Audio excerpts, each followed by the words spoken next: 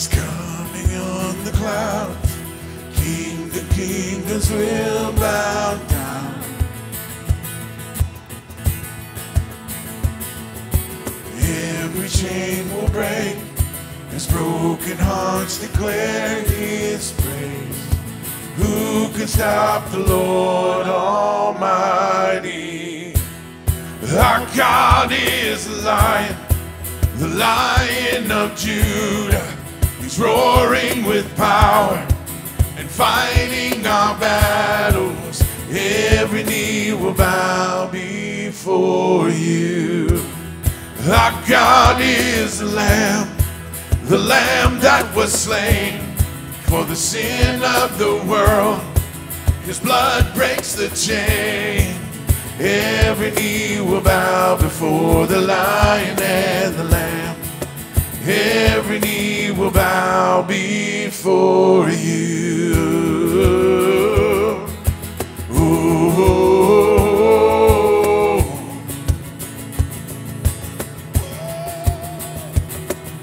Ooh. Ooh.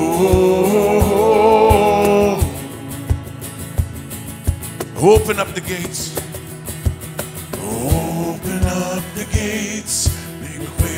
Before the King of Kings. The God who comes to save is here to set the captives free. Who can stop the Lord Almighty? Our God is the lion, the lion of Judah.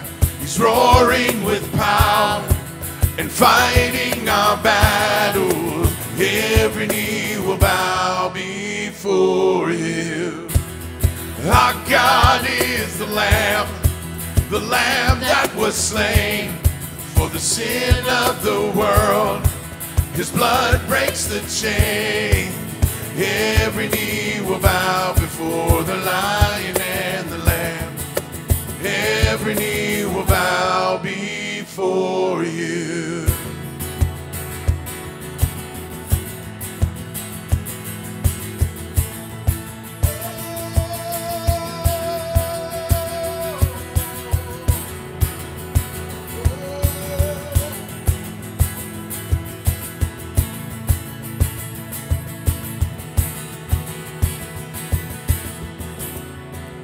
Who can stop the Lord Almighty? Who can stop the Lord Almighty? Who can stop the Lord Almighty? Who can stop the Lord Almighty? No one stop. Who can stop the Lord Almighty? Who can stop the Lord?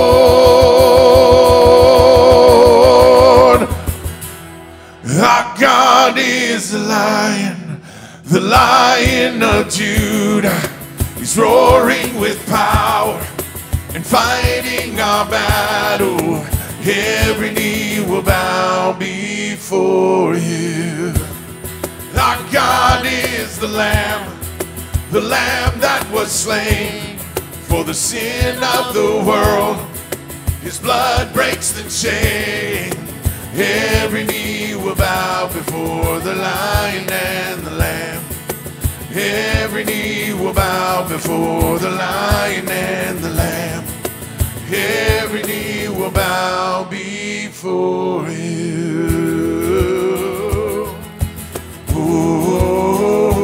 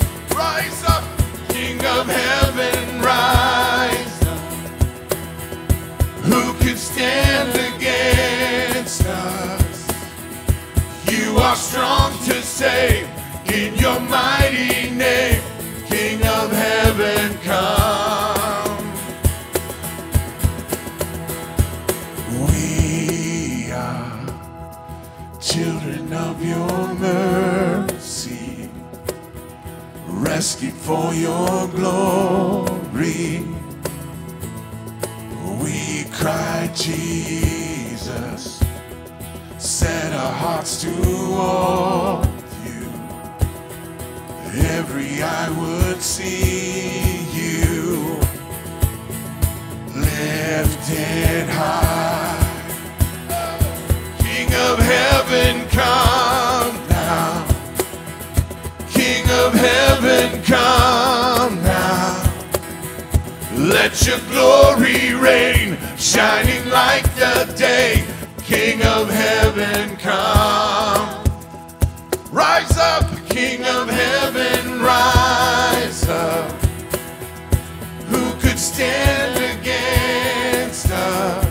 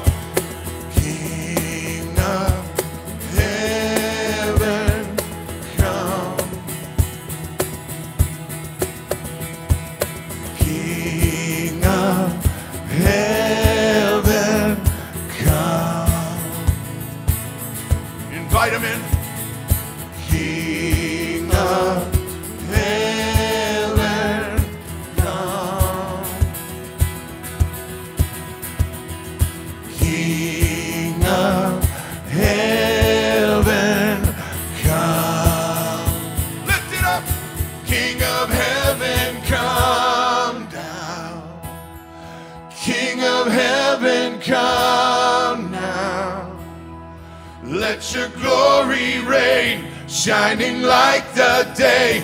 King of heaven, come. Rise up, King of heaven, rise up. Who could stand against us? You are strong to save in your mighty name, King of heaven, come. It's rising up all around. It's the anthem of the Lord's renown. It's rising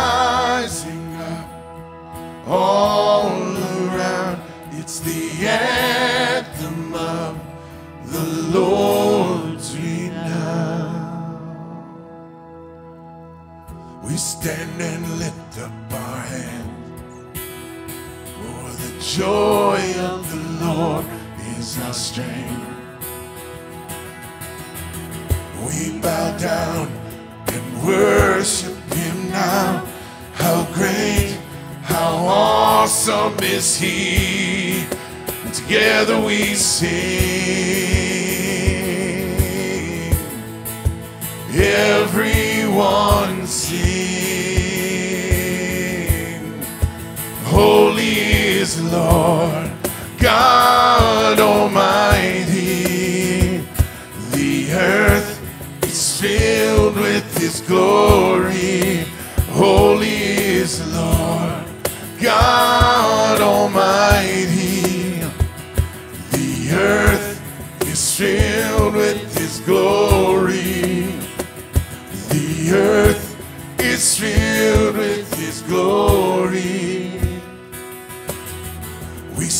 and lift up our hands. Well, the joy of the Lord is our strength. We bow down and worship Him now. How great, how awesome is He. Together we sing. Everyone sing. Holy is the Lord God Almighty. The earth is filled with His glory. Holy is the Lord God Almighty. The earth is filled with His glory. Earth is filled with His glory. It's rising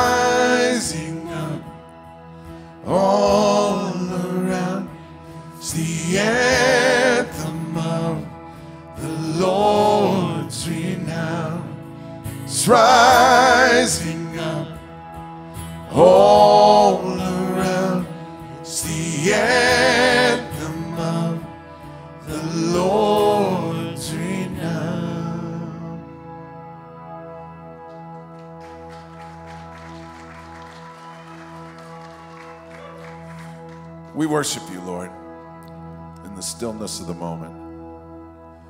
No music, no singing, and now no sound, Lord. In the stillness of the moment, we worship you. Thank you, God, for bringing hope into our lives, for bringing light where there was once darkness, for bringing strength in our weakness. And Lord, for taking away every wrong and making them right. God, thank you for your grace. We celebrate you this morning in Jesus' name. Amen. Let's give the Lord a clap offering, huh? Well, I'm glad you made it another week. And would you take a second, stand up, turn around, and greet each other this morning, please?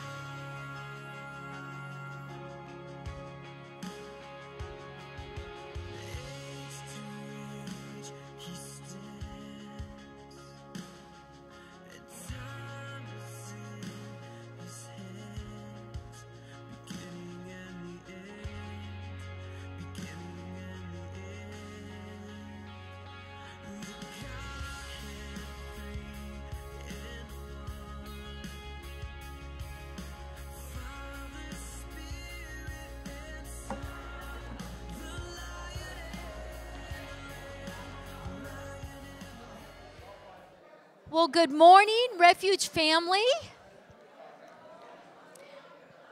We have a special treat for you today, so why don't we go ahead and take our seats and we'll get started. I'm just going to open up with welcoming you and wishing you a Merry Christmas. I know that there will be many of you that will be out of town, we've already heard and traveling. But then there are those that are bringing family in, so we'll be praying for that as well as you bring them to church and, and uh, celebrate uh, our Lord and Savior uh, this season. But we just want to just let you know that we love you. We want to wish you a Merry Christmas. We're so excited. We're excited for today and the various things going on. For those of you that have been involved with the Angel Tree Like program, it's Christmas is Forgiving, where we're giving um, some children uh, presents from their parents while in treatment at CASA, both at CASA Rafael and at the Vista Detention uh, Facility. We have only four left. I know I keep saying that every week. We have none left. We have four left. We ended up uh, coming up with a whole boatload of names, and they're already gone, and that happened just yesterday. So, what I want you to do is if you really feel encouraged and led and excited about possibly being a part of this, make sure that you head to the back and see Rachel. Like I said, I think she has four names left, unless people are calling her in online. And the stars will look like this. All you do is you bring, you purchase a present, you wrap it up, and you bring it back with this tag. It's an ID tag, so I know where those presents need to go, whether we deliver them or parents come to pick them up, which we will have here uh, starting uh, on Tuesday night. So if you did get one of those stars, please make sure that you let me know what's going on with your gift and if I can help out with that or have it here by Tuesday. For those of you picking them up today, next Sunday is sufficient in that. So, Someone just took my breath away. it's a pregnant mama, but you know what? We're going to celebrate her soon enough. Yeah, okay. Sorry, I get distracted so easily. You think it's just Pastor Howard, but the ones I really want you to look at today. So while they're sitting down over there, don't look over there. I want you to look over there. Everyone, look over and say hello to the Drays. So we have little Matthew. How about you come on up here? Family. Come on, come on. I know. Look at this.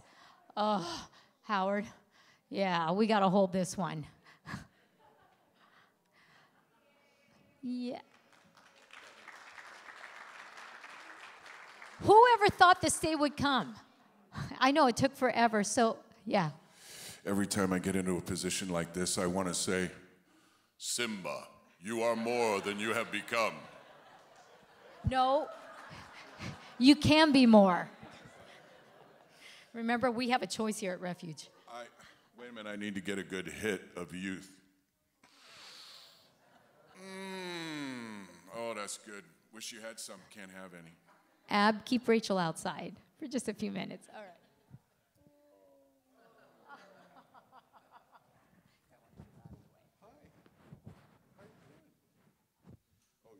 This is Matthew, by the way. And let's introduce the rest of the family. So we have Glenda, who did all the work.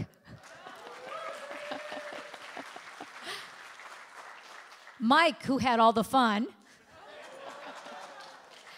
and they're. for Mike. Come on. Anyway. Mike Tracy, I bet you're glad to be back, huh? It's good to see you. All right, and then I want to say Sienna, but I'm going to call her Sierra. Okay, it is Sierra and their daughter Sierra. So this is their little family, the Drays.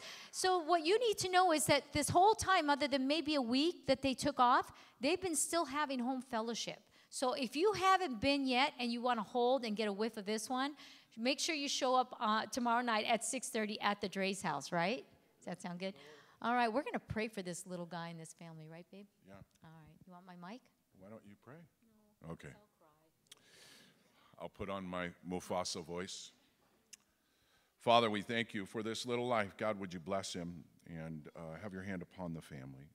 Lord, I pray that he'd grow and, and grow in the, in the grace and the knowledge of Jesus. God, I pray he would discover him young and through his mom and dad. Would you bless the family? Would you bless Glenda and Mike? God, would you have your hand upon them as well? Inspire and direct their steps. And thank you for this little life that's nothing more than the fruit of what you've done in their hearts and their lives. And thank you for out of their love comes life. It's just like you, Lord. We're grateful for that. And so we celebrate this little life and asking you, bless him, bless him. In Jesus' name, amen. Awesome. Okay, let me get on with some announcements and then a few more things. So, we still have these little men. If you haven't been here before, these are the things, the crafts that the little kiddos are making at the, I think it's Casa de Esperanza. Is that the, the they go every third, these guys uh, travel with a bunch of other people every third Saturday of the month and they work at the orphanage and the kids make these and what they're trying to do is raise money to build that fence and build that wall to keep them safe within their orphanage. Not to hold them prisoner, but to keep them safe. So that's what they're doing. These are in the back. The angels, there's reindeers are really, really cool. If you look at the back board, it will give you the prices for all these items, as well as these cups here. If you want to take a look, there's a price um, tag, I think, on some of them, but there is a list on the board. You can go ahead and check out for yourself. And with these, 20% of the proceeds are going to Refuge. But everything that you purchase, the, if anything that you give Mike, these all go directly to the actual orphanage. So those two items, great time to shop for your Christmas gift for great causes. Those are available. We got the gifts out of the way on that, and hopefully Rachel's not even in here yet, so maybe we got some names left. Uh, some of the other things, make sure that you know that next week is uh, Christmas. Uh, we'll have our Christmas Eve service. It is going to be a Sunday service, so our typical time. We're not going to change anything. All we're going to do is have something really special for you. So we're really excited. It should be, a, it will be like a family-like service, as well as on the 30th, uh, right before New Year's Eve. So we want to apprise you of that. We'll still have things to do for the, with the kiddos and all of that, but we just want to let you know that we are going to be here after Sunday service next week. We are doing a uh, Christmas potluck, and so we're just having everyone bring something that would be that you can just kind of you know grab and dash because I know that you're going to have places to go. So we have a sign up sheet in the back. I'm bringing quiches, someone else is bringing, I forget, I think it was like croissants and things of that nature. So go ahead, take a look at that list and kind of think about it, mull it over, and we'll do that next week. And I think that that is it with our announcements, services as far as our, our home groups still meet this week. Um, and I think that that is it for me. Uh, the only other thing I have left is we have the Emmerich family that we are going to go ahead and bring up. Pastor Howard, we're going to go ahead and pray. We have little JJ who has had all his MRIs and all his tests. And as they make their way up here, um, he is basically, is a condition called aqueductal stenosis? Hydrocephalus. And so we, uh, this is very near and dear to our heart because our daughter, who's now 27, getting married in a couple weeks, um, had the same procedure done. But I'll tell you, our fingernails never left the tops of those tables in the cafeteria. So we know what this is like for them, um, but we know what God can do. And so what we want to do is bring them before their family and lift them up as they get ready tomorrow morning to do this. Yeah. So if you guys would like aim a hand this way just ask the Lord to bless. Hey, JJ. Father, we ask that you would bless JJ. God, that you would have your hand upon him. Lord, that through this challenge that he's dealing with, uh, Lord, that, that his heart would be softer and he'd have a heart that's connected to you.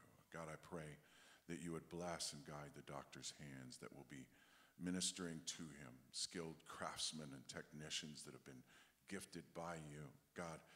But they're just human and they need you. They need your inspiration. So even if they don't know you, I pray that, that you would inspire them, that you would be guiding the, the, the implements, the tools that are used to accomplish the task. And I pray that, that everything, every instrument against aqueductal stenosis would just go, hydrocephalus would go in Jesus' name, and that you would restore this young man in a way that we'll all just stand back in, in awe and celebrate.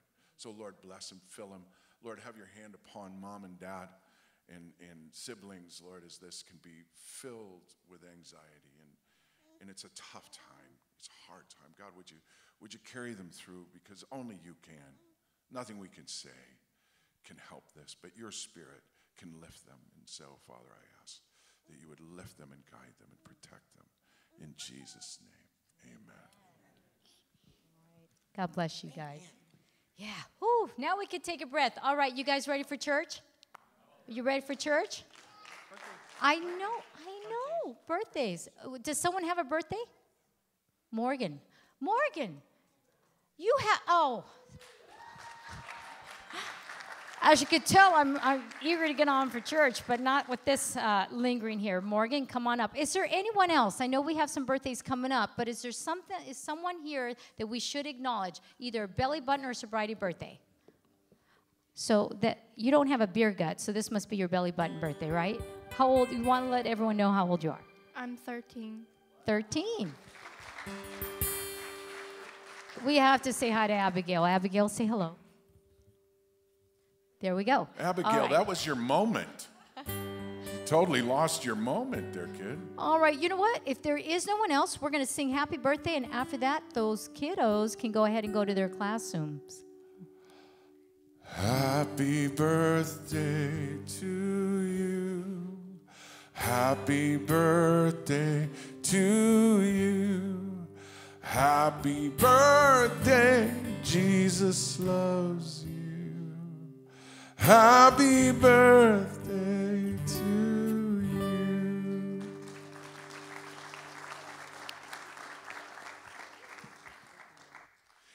Uh, young men and women will go to the back for junior high, high school. The little, little, little, little toddlers in the room back here to my right, and then uh, Sunday school for the kids going back this way. Um, you are dismissed. The rest of us are here.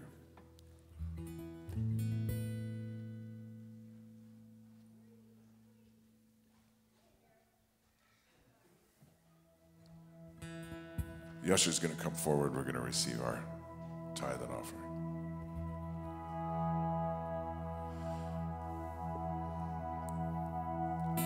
Over the skies of Bethlehem appeared a star.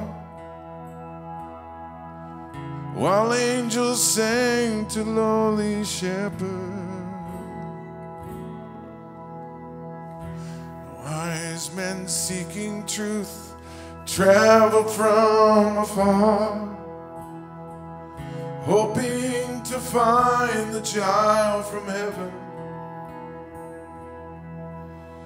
falling on my knees, they bowed before the humble Prince of Peace.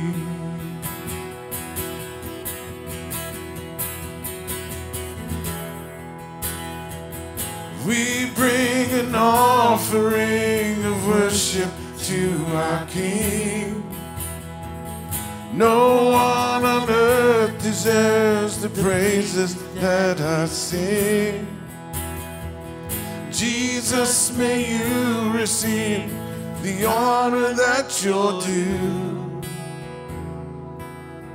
Oh Lord, I bring an offering to you.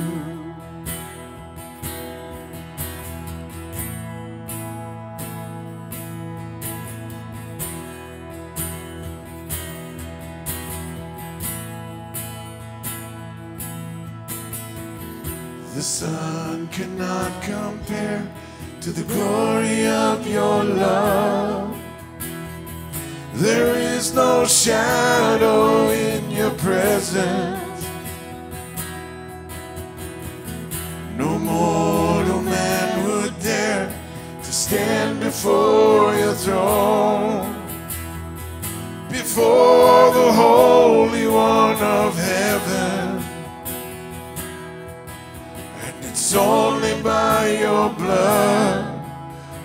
It's only through your mercy, Lord, I come.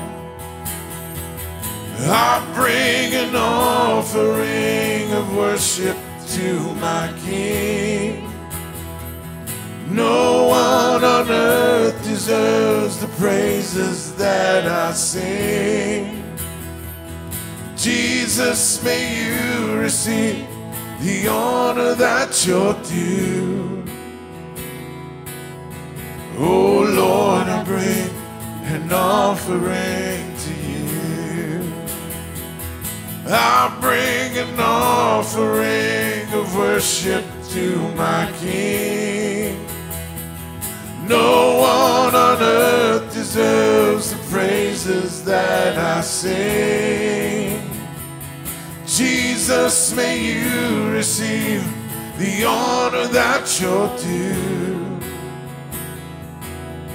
Oh Lord, I bring an offering to you.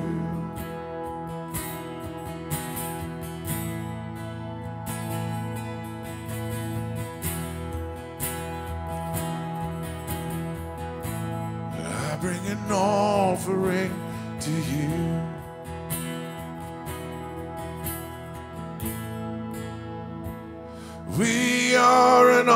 Offering of worship to our King. No one on earth deserves the praises that we sing. No one on earth receive the honor that you're due.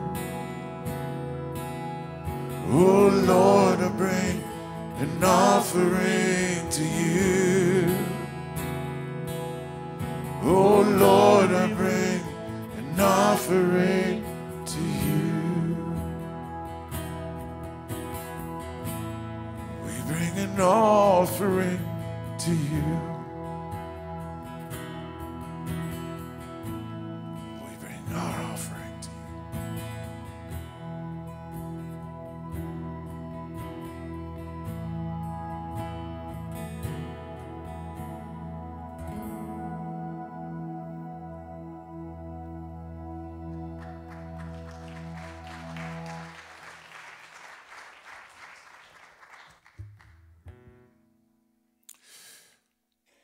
Gonna do something different this morning.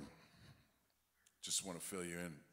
I had a friend of mine from out of town, and he's been coming for, gosh, better part of a couple months. I think we've been talking about him coming down, and and uh, just a dear friend. We are in ministry together at another place, and we've just been tracking with each other. I'm on his board. He just started a new church up in uh, Oregon, and uh, he and his wife Sarah and their kids uh, are on our prayer list.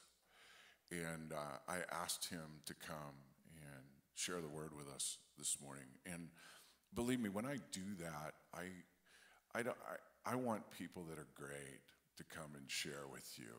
I, I don't want people who are lame to come in here and talk to you. So you'll, you'll note that I never invite lame people to share with us.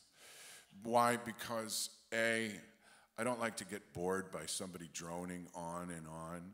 Uh, but B, more importantly, I love you guys, and, and I want you to, I want you to receive something from heaven. I think we all need, don't we? Don't we all need to receive something from heaven this morning? So would you help me in welcoming Ollie Turley to the front here, and he's going to share with us.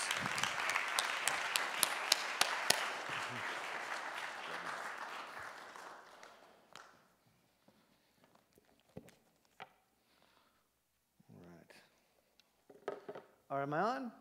Yeah? Okay, cool. Uh, my name's Ollie. Like you said, I'm, uh, I actually know Howard from, man, when I started in, in youth ministry. And uh, Howard and I started a relationship as good friends in kind of a weird way, like probably most of you. Uh, I walked into his office because he was kind of the guy I talked to when I was getting used to ministry. And uh, I remember going up there and I was upset about something. Um, someone had something, said something rude to me. And I was still a relatively new believer, and I ended up going on mission trip, coming back, coming on staff at a church. And so I'm all excited and, you know, full of those bunny eyes that you don't know that, you know, bad people are ministry too. And I go up, I go up to his office, I stomped upstairs, and I'm like, Howard, I have these things and these problems, and I'm telling him all about it. And Howard, in his Howard fashion, well, Ollie, let me tell you what's wrong. I'm like, well, tell me. You're emotionally immature. And that was what started it, because he was very honest with me. And uh, it's been, what, 13, 14, 15 years since then? And even now I'm like, you jerk, you know?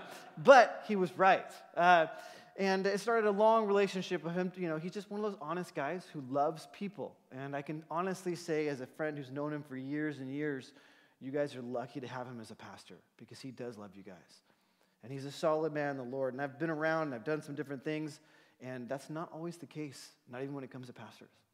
So I hope you guys are blessed because you, should be. Um, we're going to be in 1 Peter chapter 1. I just kind of picking up where we are at our little home church, well, our little church plant up in Oregon. And we'll start off with some prayers. You guys find that little tiny book. It's really short. So if you got one of those small Bibles, it's like a page. So let's pray. Lord Jesus, we thank you for this time that we get to spend together in your word. And I pray that you would help us to understand your hope a little bit better today. God, I pray that you would speak through me. Lord, and I pray that you would open each one of our hearts so we walk away today changed a little bit to be more like you. In Jesus' name, amen. All right, so we're in First Peter. We're going to read just really the first five verses, but we're going to focus on verses 3 through 5. Um, I'm just going to pick it up here and we'll read through the first five verses together. It says, Peter, an apostle of Jesus Christ, to the pilgrims of the dispersion in Pontus, Galatia, Cappadocia, Asia, and Bithynia elect according to the foreknowledge of God the Father and sanctification of the Spirit, for obedience and sprinkling of the blood of Jesus Christ. Grace to you and peace be multiplied. Blessed be the God and Father of our Lord Jesus Christ, who according to his abundant mercy has begotten us again according to a living hope through the resurrection of Jesus Christ from the dead, to an inheritance incorruptible and undefiled that does not fade away, reserved in heaven for you, who are kept by the power of God through faith for salvation, ready to be revealed in the last time. One thing about First Peter is that it's jam packed in theology.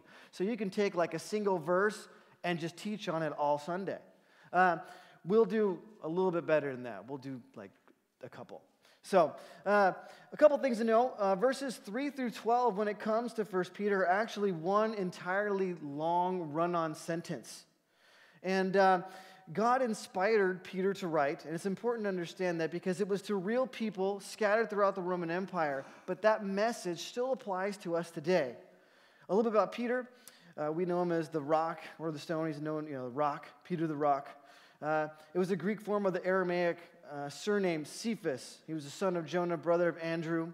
And his story is one of transformation. He was raised in Capernaum, where Jesus frequently visited during his Galilean ministry. His family were fishermen and evidently in partnership with Zebedee and his sons. He was uh, in relationship uh, uh, to Jesus and then in discipleship with Jesus later on.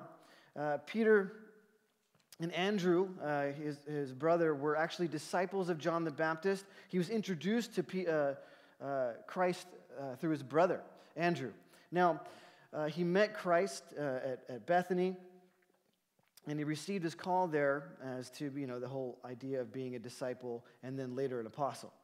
Now, it's important to understand who he's writing to here, and we'll get into all about Peter a little bit later because he starts off real simple. Uh, and then God uses him in an amazing way because, well, he's faced some serious turmoil. If you guys remember, Peter was one of those guys who always stuck his feet in his mouth constantly. And he was, he was a guy that uh, was intense, and he also was a guy that really screwed up. In fact, he's probably one of the worst screw ups you can think of. So if you're a screw up as a Christian, this book is for you because it gives you hope. He's going to talk about hope today, and he, he's one of those guys who needed hope because he was also the one that Jesus had to restore because he denied Jesus three times. Can you imagine being the guy who walked with Jesus, said you die for Jesus? You're one of his guys, and then they come and they take him away, and when it counts most, he denies Jesus because he's sitting outside by that fire. You guys all know the story in the Gospels, and he runs off and then the cock crows and he cries and, and he disappears. Jesus returns and makes a special trip to Peter alone just to restore him.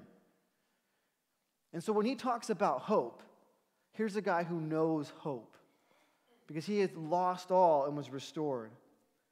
Now, uh, it was written to this letter Peter's writing uh, to the exiles who were scattered abroad and it's important to understand who these people are because they were Christians that were suffering under persecution under Nero, Caesar Nero. This is a guy who liked to collect Christians and then torture them. That was his hobby as, as a Caesar. So I know we oftentimes deal with suffering, and we'll talk a little about that. And we deal with times of where our faith is tested. And as he writes these guys and tells them about their hope in Jesus, you have to understand here's a guy who understands hope himself, and he's talking to people who really needed the hope of Jesus because they weren't just losing their job or dealing with turmoil or having a lost loved one or getting sick. They were being hunted down because of their faith and then executed in crazy fashion. So uh, Peter introduces himself in that first, the first two verses, uh, and then he launches into this benediction or doxology, which is really just praise of God. And he gives his reason for being pra- for praising as he's given us new birth, being begotten again. And so he talks about being born spiritually, and we begin to walk in that hope and our inheritance and the power. Now, it says again, Blessed be the God and Father of our Lord Jesus Christ, who according to his abundant mercy has begotten us again to a living hope through the resurrection of Jesus Christ from the dead. The first thing he talks about here, the reason God is to be praised, this is this whole praising God thing here, is because, first of all, we're born again. And the idea here is transformed from the inside out. Or really, it could actually be translated born from above. And the new birth is this entrance into new life, and it's a new experience. And I think of this a lot like the caterpillar. A caterpillar, when it's first, you know, a caterpillar, is floating around on trees. It just uh, you know, crawls around a lot. It's on the ground, gets on trees, eats leaves. And then at some point in its you know, life, it enters into the chrysalis, which you guys remember from grade school, right? All of us in grade school did the thing where we had the little caterpillar set, and we all come into class and we're excited to see if it got in the chrysalis or not. And then eventually it does, and you think it's taking forever. And then one day it comes out, and they're actually butterflies or moths or whatever. Well, they're usually butterflies. But uh, the, uh, the idea with that, though, is when the caterpillar becomes a butterfly, it's important to understand this that in that new life, it's still the same being, but it's not the same at all. And I find that absolutely fascinating because it doesn't eat the same stuff, it doesn't have the same metabolism, it doesn't live the same, it doesn't hang out in the tree anymore. It's got an entirely new life, but it's the same being. And the same thing is true for us as believers. We have our hope in Jesus because we were begotten again. When you gave your life to the Lord, everything changed. At least it should have. And even if it hasn't already, God's in the process of working that out. And He's faithful to grind us a little bit to make sure that happens because He wants us not to stay the caterpillar. He wants us to be the butterfly and live that new life. That's what our hope starts in. Our hope starts in the fact that we're born again and we're made for something new. He enables us to live a different kind of life. And we have a hope in Jesus. You don't see the butterfly hanging around the tree anymore and just eating the same stuff. They, they've got an entirely new life. Now, in our new birth through Christ, we experience a couple things which he talks about here. He says, you've begotten us again to a living hope through the resurrection of Jesus. And that's what we're talking specifically about today. I want to mainly camp on this. There's, there's a ton here. I could do like five studies on these verses. But the hope is the important thing. In fact, that's what this whole Christmas time is all about the living hope. We, we gather together and we celebrate Christmas because of the hope that Jesus gave us. Now, hope sustains us in trial and in pain and in suffering. And one of the things that we have to understand is that being saved doesn't mean that all the pain, suffering, trial, and tests go away. You still go through those things. And it's important for us to understand that because this is who he was writing to, these, these, these Christians spread throughout that, that empire. They were facing serious issues even though they were saved. He says that's, that's not what our, our hope is in Jesus, and, and we've been born again, but we have to understand he's given us a hope in some specific things, even if you are being tested now. And our faith is tested. I'm sure if I were to start pointing people out and, and having you guys share with me how your faith is being tested, you'd all have some serious stories or some struggles you're going with. I know my faith has been tested. To be honest, and I was be very real with everyone here, I have no idea if our church plant's going to make it. We've invested everything in our lives into this thing because we believe in it and we believe God's called us to do it. And then we've moved out to, from Texas, the Bible Belt, uh, where it was relatively easy to do the thing there, um, to uh, a large part of a large church in Calvary, Austin, out to Oregon, Portland, Oregon, which is one of the most liberal places ever. I mean, you guys think it's pretty crazy here, which I lived here. I live right down the road, actually. And it is crazy here, but it's like a whole nother level of weirdness up there. I mean, they're freaks. They're my kind of people, but we're all freaks together, and, and they're, they're freaks that are very averse to the gospel. My, dad, my family lives up there too. My dad's like, let's go door to door and tell people about the church. It's like, I don't know, Dad. I just don't think that's going to work here. We should try it. Yeah, I honestly thought that my whole cage fighting thing was going to come into play because we were going to be fighting people every time we go to a door. They were upset. Like the one guy was ready to get violent with us because we were just telling him that we're a church in town. The, con- the constant answer we got from people was, Really? Another one right here? I, I, I thought there was one. Why, why do we need that? I thought we were past this. Past this. Oh, man. So it's been really a, a, an eye opening thing. And uh, here we are, we're called. You know, we got this new life and we've, we've had this journey of faith and we move up to Oregon and we're going to do the thing. And immediately when we leave, there were some issues at the church back at home and, and the, the financial aid that we were using to, to, to do that church plant was immediately like cut in half. And we're like, oh, shoot. And they're sweet and they love us and they, they support us as much as they can, but, but that made things hard. And we're like, how are we going to do this, Lord? Do you really call us to this? And you begin to question. And then we endured the hostile culture, and we've been there for about a year and a half now. And I can tell you, it is extremely hostile. Uh, yeah, I, I, there's too many stories to even get into one. But. Uh, you know, we're dealing with these things and, and we've been called to it and it's, it's hard. And then you realize that when you're out there, you know, we've been on the mission field in India, we've done different things and God's blessed those things.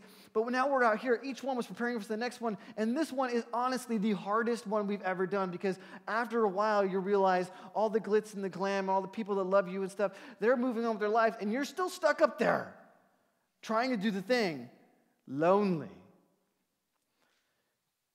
But that's just one thing. That's, that's when you're doing something for the Lord and you're like, I'm, but I'm charging for you, Lord, and you can kind of justify it and you'd rather go out on your shield. But what about having hope through real problems that have nothing to do with even doing ministry, that are just life. When we were in Texas, one of the, the youth in our youth group, um, he was a young man. He just turned 18. His name was Clayton. He got a very intense form of cancer. And man, we prayed for him. And, and he, was, he, he had just gotten saved the, the year before. Uh, and he had his high school sweetheart there. And they were like one of those little couples that you just, you're watching because you're excited for them. And he went through chemo, went through all the treatments, visited the hospital, and he died. And his mom's still coming to church and still working through those issues. And you cry with the family, you cry with, with the friends, and you wonder, Lord, if, if there's people who should die, this should not be the kid. Lord, Lord what's going on here? We're, it's hard to find hope.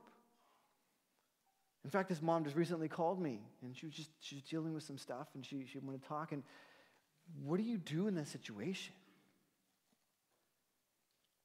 One of the reasons we moved up to Oregon was to be around family. We've been gone for a long time. We left, I was in the Marine Corps, so we came down to California, and we've been gone from our, all our family in Oregon the entire time up until these last year and a half. And so we were very excited about being near family again. And one of the people we really wanted to be around was my wife's dad, who's an ama- amazing man of God, loves us, and has always supported us in the ministry. We were finally ready to move up, and we were talking about it, and he was so excited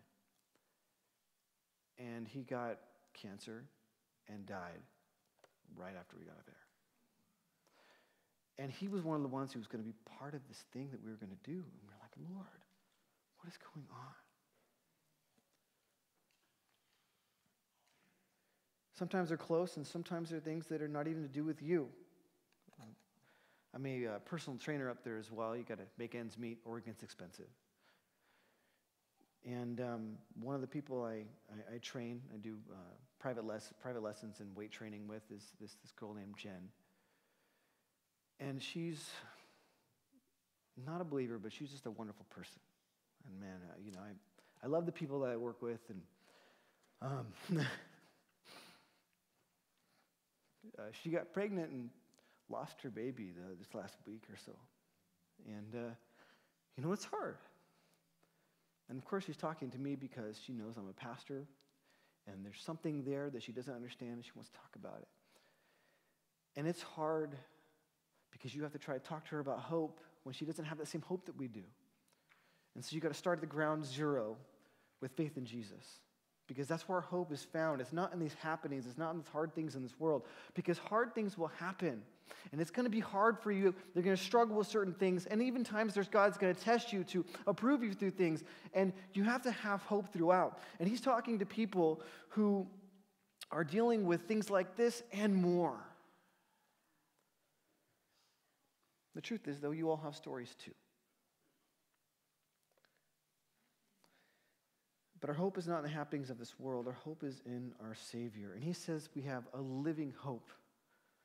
So, what do we have our hope in? Peter praises God for his plan, which includes number one, that changed life on earth, because God empowers us to do that, our inheritance in heaven, and then security until we get there. A living hope, and this is one that is genuine and vital. Now, those who were suffering persecution in Asia Minor were supposed to look beyond their troubles. That's what he's telling them to do here. They were to look to the future with confidence, and their confidence is grounded uh, and secured in the resurrection of Jesus Christ because they would have known that Jesus rose from the dead, and that's what their hope was in. And even though the things around them were hard, their hope is in the hope of resurrection, triumph over death. So, whatever happens to them in this world should be trivial compared to the blessing of the future resurrection with Jesus. And for us too, and we're filled with the Spirit. God speaks to us through His Word. He gives us purpose and a mission, become fishers of men. And we see God working here on earth. And you know, Peter, too, you know, he's one speaking again of this, this hope. He had had hope and then it failed. But what rekindled that hope? Well, it was Jesus resurrected who actually showed up and talked to him. What's important about this resurrection is that it means that all the promises that Jesus made and all the things that Jesus said are true. And if we can bank on that, we can bank on our hope in that. He says in verse 4 to an inheritance incorruptible and undefiled that does not fade away, reserved for you in heaven. You know, when it comes to hope, it's important that we have hope in something that, that we can see, that we can, we can see in our mind's eye. And that should be our, our time being reunited with the Lord. That, that time that we know, we know one day we'll be citizens of heaven. Not just in the sense that we know we're going there, but we'll be there one day. And hope is a funny thing. Hope helps sustain everyone through hard things. Uh, you think of the uh, people who deal with the concentration camps, the Jews, and the ones who survived said they had a hope. And hope was the one thing. When people lost hope, they have stories of them sharing about people they knew, and they could see when they lost the hope in their eyes. There was a change in the way they looked, and they died shortly after. Uh, I'm in college, and, and some studies are really interesting and, and fun. Other studies that you study are, are just ridiculous. You're like, why do people waste their time on that? This is one of those ones I think is kind of ridiculous. But they studied hope and the idea of looking forward and with rats. You may have even heard about this study because these guys did this study on hope and rats. And the idea was that they would put these rats in a bucket and they were trying to survive and they would leave them in there to swim until they drown. Now that's awful, right? I don't some of these scientists I always think like, what kind of sick freak made this test? He's like, hey, hey, hey, like, don't, don't let him have a child. Like, what's wrong with this person? Uh, so uh, they, they did this test, though, with these rats, and, and they would put them in this bucket, and they would time how long until they drown. Yeah, like I said, that's awful, right? So they would time them, and they would survive whatever the time was. And then they took a, a, a test group and a control group, and the test group, they would take them and they would pull them out for a second and take them and put them in a place where they were not wet, and then put them back in the bucket. And the idea was that they had a hope that they'd get pulled out just in the nick of time. And the, the ones that were pulled out in the nick of time a few times before survived way longer because they had a hope that someone was going to come get them and they would survive before they drowned, before they eventually drowned. Now, again, sick, sadistic, twisted, weird thing to even bring up in a Bible study, I know. But uh, the idea, though, is that hope sustained these poor rats. Just knowing that they could possibly be saved helped them survive a little bit longer. And that's the idea here. We know that we have a hope to look forward to. We hope in the future. And now he talks about inheritance, incorruptible, undefiled, that does not fade away, reserved for you in heaven. The idea of inheritance here is kleronomia, and it describes what is in store for Christians. In the Old Testament, the inheritance is the land of, that God promised the people. We see this in Joshua chapter 11, verse 23. So Joshua took the whole land according to all that the Lord had said to Moses, and Joshua gave it as an inheritance to Israel according to the divisions by their tribes. Then the land rested from war. So back then, it was that was the inheritance. But Peter shows the inheritance here, however, no longer in terms uh, of a land promised to Israel, but in terms of the end time hope that lies before all believers. For us, it will be realized in the new heaven and the new earth. 2 Peter 3:13 says, "Nevertheless, we according to his promise look for a new heavens and a new earth in which righteousness dwells." And this is important for us to understand. We have something to look forward to in heaven. And I've had some interesting theological conversations with people that, you know, they, they know their Bible a little bit. I imagine because Howard is your pastor here, you guys read your Bibles and you know your Bibles because he teaches through the Bible verse by verse, chapter by chapter, which is awesome. That's not the case everywhere. And so you'll hear some weird things and people are like, yeah, man, I can't wait to be, get to heaven because I'm going to be an angel. Well, that's not theologically correct. I'm going to have some wings. Uh, well, maybe, I mean, I guess. Or, you know, we're going to have this giant worship session forever and ever and ever. That kind of sounds like hell to me. I'm going to be honest, right? Now, don't get me wrong. I think it's amazing when, we, when you connect with the Lord and, and it's that you one on one and God just connects with your heart. It's amazing. And those times will be sweet. But we have to understand that there, he talks about what heaven will be like. And uh, it's, we have jobs and there's a whole new heavens and earth and we're going to have different things to do. We're going to be exploring the universe together. It's going to be awesome. But we're not just going to be in one giant worship session all forever. Like, well, he could have just created robots to do that. Super weird. So, looking at this, uh, you know, what we have our hope in, I'm just going to read for you uh, from Revelation chapter 21, uh, verse 1 through 5.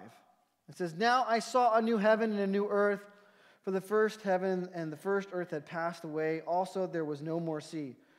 Then I, John, saw the holy city, New Jerusalem, coming down out of heaven from God, prepared as a bride adorned for her husband. And I heard a loud voice saying, Behold, the tabernacle of God is with men, and he will dwell with them, and they shall be his people. God himself will be with them and be their God. And God will wipe away every tear from their eyes. There shall be no more death, nor sorrow, nor crying. There shall be no more pain, for the former things have passed away. Then he who sat on the throne said, Behold, I will make all things new. And he said to me, Write for these words are true and faithful. Our inheritance is the eschatological hope of believers, the end time hope that we as believers have that people who don't have faith in Christ don't have. We have a hope in something in the future that is amazing. And we may be going through hard times here because it is a fallen world. But there will come a time when God wipes away every tear. My wife and I were trying to have babies for a time before we, we obviously have them now. But there was a time when we had moved to Texas and we were serving in ministry there and, and we were trying everything and we were going to specialists and stuff and, and it looked like we might not be able to have kids. And I remember going through that trial and it honestly being one of the worst times of our life. Especially for me as a guy. If someone walks by and hits my wife, my hobby is fighting, so I am good at that. And I know exactly what to do. I'm not the Christian that turns his cheek, I'm going to rip you in half. you know? I know it's probably bad. I probably shouldn't say that. But it's true. If someone try to harm my family, you know, we like guns too. You come to my house uninvited, you look like Swiss cheese. So I know what to do in certain situations, but what do you do? Guys, you understand this when you can't help your wife because it's something you can't fix. It was awful. I remember just trying to talk to my pastor at the time uh, over in Texas, Terry, about it, and I, I just was crying. I, I, couldn't stop. Because I remember just seeing the, the hopelessness in my wife's eyes as we found out again that it just didn't happen, it wasn't working. Now, when you face these times, it can feel dark, it can feel like the end, but we have to understand there's a whole lot more in this life than just that one thing. That's one aspect of our life. And for us, it was really hard. But you know what's crazy? And I think about this when I think about these verses that he's going to wipe away all those tears. You know what wiped away those tears of pain? Was when we had our first child and she looked at us. It was amazing. And you guys who are parents know exactly what I'm talking about. There's nothing like it. When your daughter looks up at you from your hands, it's one, uh, honestly, and I wanted to be a dad so bad.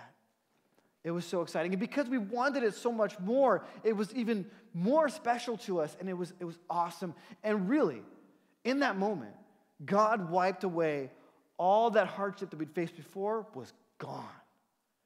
Because now we had this beautiful baby before us. And now we've had two more. And so now we're just enduring the storm, you know? and people call and they're like, hey, you, what is all that noise? I'm like, it's my house. Can I come over? you want to bring your family? No. But our inheritance is the eschatological hope of believers. There will be one day where God wipes away all those tears. When we meet with the Lord, we're going to see behind the veil that we can't see now. We'll understand why there were the trials that we had to go through. We'll see how He was growing us through them and how He's able to use those things in our lives to make us better and effective to then minister to other people who needed us too. And we were His hands and His feet. Colossians 1:12 says, "Giving thanks to the Father who has qualified us to be partakers of the inheritance of the saints of light." And then moving on to verse 5, it says, Who are kept by the power of God through faith for salvation, ready to be revealed in the last time. In our new life, being born again, we then walk in power. Uh, kept by the power of God. God's power protects us because by his power, it means that our faith is sustained. It's important for us to understand that He did all the work on the cross. We love to add things to salvation. You can be a complete screw up as a Christian and still be saved. I, and I know some people like, well, don't make cheap grace. I don't mean to make cheap grace, but you need to understand you can't do enough to be like, now I'm now I'm worthy, Lord. Because the entire time you were still just a chump. God saved us. It was all Him. And then we just love Him for it and respond to it. And our lives should be based on that response. Peter is encouraging believers with the truth that God will preserve their faith through sufferings and the pitfalls of life, even when they face it. Faith and hope are ultimately gifts of God, and He fortifies believers so that they persist in faith and hope until the day they obtain that end times inheritance. God will sustain you. If you put your faith in Him, I, you know, teenagers, I was in youth for a long time. I was a youth pastor, probably way too long. Uh, maybe, that, maybe it was the right amount of time. They were like, yeah, you're not ready. Um, but, uh, you know, the, with teenagers, it's always this, the extremes. Well, what if, what if someone puts a gun to my head and then what? You know, this is what he's talking about because that's what a lot of these guys faced. They were facing serious persecution. What do I do in that case? God will sustain you. We're not supposed to worry about the things we'll say when those times come because God will sustain you. You'll have the amount of faith you need. Uh, I was talking to someone just the other day. We were talking about India, and they were like, What would you see there? And I was sharing some stories. They're like, I could never do that. Said, Actually, you could. Because when I first told my wife that I felt like we were being called to India, she laughed in my face. And then I was like, all right, Lord, if it's you, then you'll make it happen. And then, like, three weeks later, she's like, well, you know, I've been thinking about it and praying about it, and I think maybe. Now, when we got there, God sustained us, and God gave us the faith to make that jump. And it was a huge faith jump. And we were quitting our jobs, putting stuff in storage, taking off, and, you know, going to a place with no toilet paper. Think about that for a second. Yeah, everyone wants to talk about the glory days of ministry. That's not the glory days. No, no, half a year. yeah, you can't bring that much toilet paper. That's right. But there were times that, you know, when we were facing things there where, where it was simply that God gave us the faith to do these big faith jumps. And the same thing will be true for us. When He calls you to something, He also gives you the faith to do that thing. Everyone worries, well, what if well, I'm scared to really, really put it all in for Jesus because it's going to make me do some crazy thing that I'm not ready for? That's wrong. He prepares you first. He gives you the faith for that thing. So when you're going, you're going willingly because He's prepared you for it. But we have that hope. And remember, Peter failed. You guys remember that he denied Jesus. And then in John 21, verses 15 through 25, he restores him. You remember, he meets him by the, the, the Galilee seashore there, and he, he says, Hey, do you love me? He says, You know I do. He says, Feed my sheep, tend my sheep. He's asked him three different times, and he restores him. And he understands that hope because he was one who failed, and Jesus came back and sustained him. And then, just so you guys know, after that, the guy was intense. He was fully changed after that. But we also have this living hope. We're born again, born from above. We're the same person, but we're made something wholly different. You're not bound by the chains of your past because God is enabling you to be someone different. We receive an inheritance. That's our promise of heaven. And it also gives us purpose, too. That's part of our inheritance, is we have purpose in life.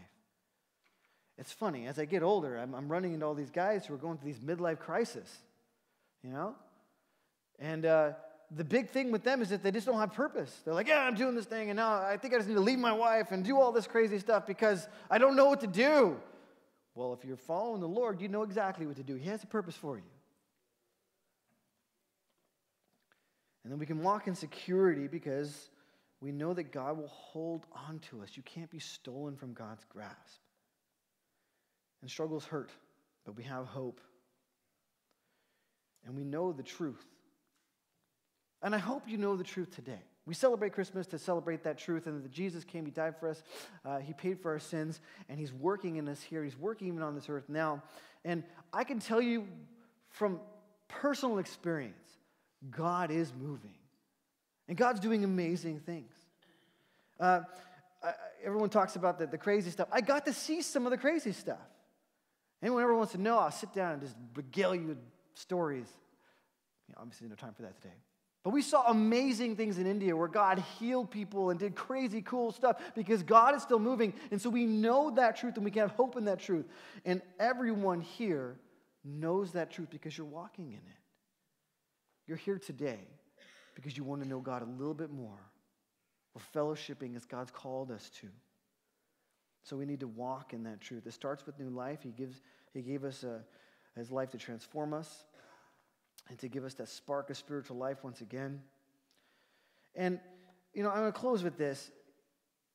It's faith in Jesus. That's the beginning. It's hope, because we have a hope in the eschatological end.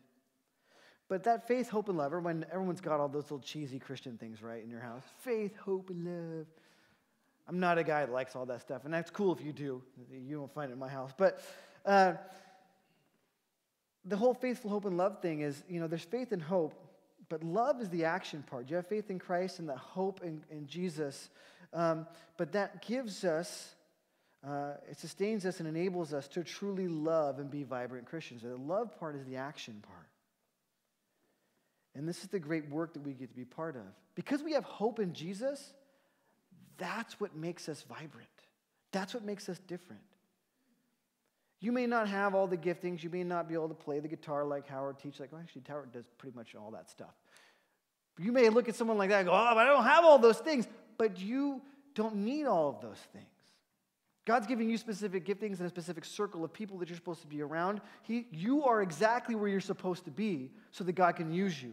And by having hope in Christ, that alone changes you into something that you weren't before. You're now a light in a dark situation. I hope you guys all realize that. You're extremely useful right where you're at. And God wants to use you. You don't have to go be a missionary somewhere. You're a missionary here because here needs it. And it's through this hope in Christ, which she goes on to, you know, to cover a ton of things, but it begins with this our hope. If our hope is found in Jesus, you can struggle through things, but even struggling through those things, you're still a light because people see you struggle through it and they realize there's something different about them, though. They don't wail and get lost in the world. They, they have this weird hope, like there's something wrong with them. In fact, when I got saved, part of the reason I got saved is because someone around me was a Christian. She never even witnessed to me. But I saw her suffer through things. I'm like, something's wrong with her. And that's what the world just did to you. You're supposed to be a light. And our hope makes us a light. And like I said, I don't know what will happen with this church plant, but I do know what would happen if we didn't step out. Nothing. So let me encourage you to have hope in Jesus to make it through your struggles. And although you face things, remember, He's in control and then to go out and do something. Because I'd rather go out on my shield than sit comfortably idle while God is at work. Let's pray. Jesus, we thank you for this time. I pray that you would help us to have hope in you. Lord, those in this audience today who are struggling and maybe it's with a personal sin or something they've been hung up with. Lord, maybe it's with addiction. Lord, maybe it's uh, with just sorrow or loss or those things that happen to us in this world. Lord, I pray that you would focus our hearts and our eyes back on the hope that we have in you and the inheritance we have with you and the fact that you will sustain us through to the end, Lord. Our place is already locked in. Help us to see these things in perspective. And God, beyond that, Lord, I pray that you would then help us to be people who walk in that hope and really love other people. God, let us love in action and be people who share you with other people. Lord, I pray that you help us make a difference here. In Jesus' name, amen.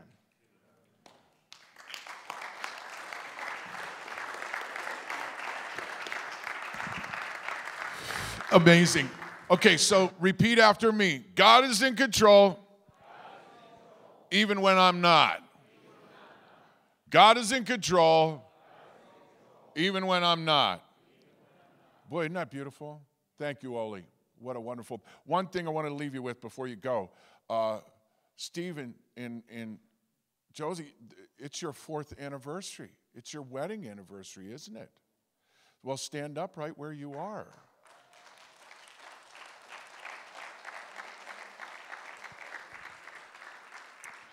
Now, what you're seeing here is Steve discovered that there aren't any decent girls left in America, so he went to the Philippines and he found one, a, a wonderful Christian lady over in the Philippines four years ago. So let's pray for them. Father, we just ask that you would have your hand on the Finchmans and God, that you would bless them and direct them and guide them. Lord, we're just so grateful that their family is a part of this family. And Lord, continue to keep them. Lord, we ask that you would bless Ollie and Sarah in that work up in Oregon. Lord, I pray that you would inspire and direct their steps and, and just overwhelm them with your presence. Thank you for uh, just all his transparency and his heart for, for you and, and, and for us. And so, God, I pray that we would walk out of here with what he shared burning in our hearts and would remember that it's really, it, it is all you. In Jesus' name, amen. God bless you guys. Have a great week. We'll see you on Tuesday or we'll see you next weekend.